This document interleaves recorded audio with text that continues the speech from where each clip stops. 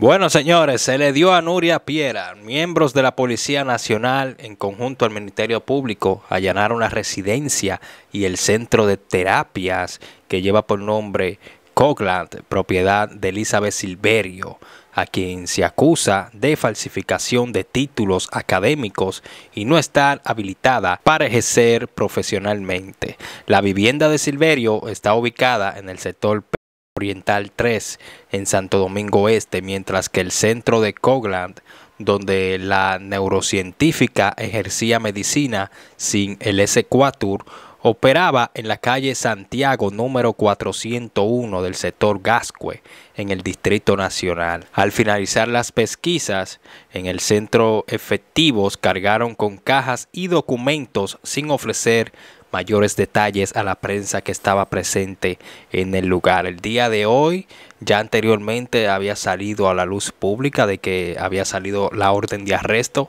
en contra de Elizabeth Silverio. El día de hoy allanaron tanto como su centro de terapias y su residencia. Aquí van a ver las imágenes donde ya finalmente la conducen hacia el vehículo de las autoridades. Ahí se la llevan presa. Aquí el Ministerio Público arrestó a Elizabeth Silverio luego de concluir con los allanamientos en su residencia ubicada en el sector Prado Oriental 3 en Santo Domingo Oeste. De acuerdo con el abogado Félix Porte, Silverio será trasladada a la cárcel del Palacio de Justicia de Ciudad Nueva.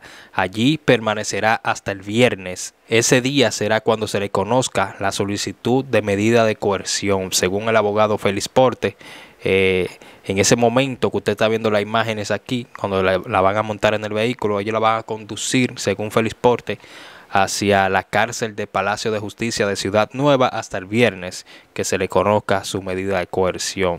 Increíble, Dios mío.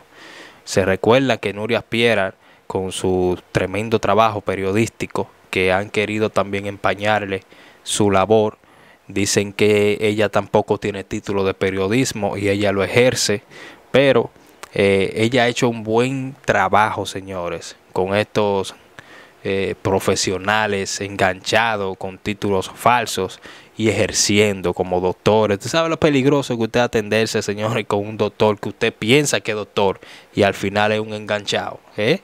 Eso es peligroso.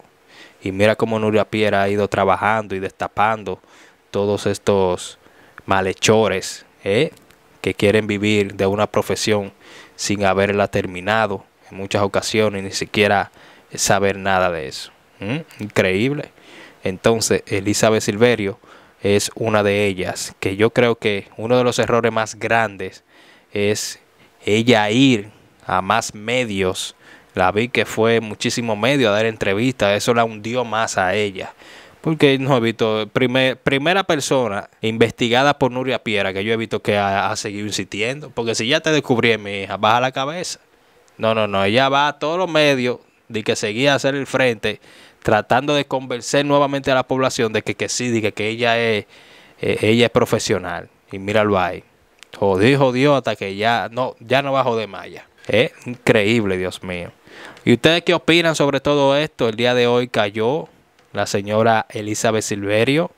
Eh, tras estos allanamientos, anteriormente ya había salido su orden de arresto, hoy se ejecutó y ya está en manos de las autoridades del Ministerio Público. Vuelvo y reitero, está siendo conducida en estos momentos a Ciudad Nueva. Allí va a permanecer hasta el viernes, hasta que se le conozca la medida de coerción. Seguimos pendientes a más detalles. Suscríbete a este canal de YouTube, Facebook, dale like, comparte, riega esto al mundo y nos vemos en otra próxima entrega. Yo soy Javier de la Cruz y esto es Faranduleros Boy. Vamos allá.